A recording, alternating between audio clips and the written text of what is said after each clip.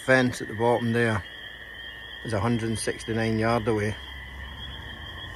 And I can't, I cannot see that with my eyes. This is in night mode with the no IR at all.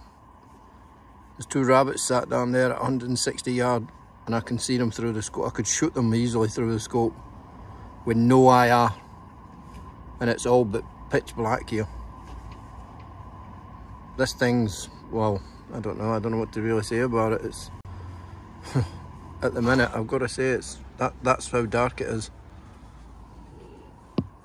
And that's what it is through the scope. That's with no IR at all. This thing is unbelievable, this scope.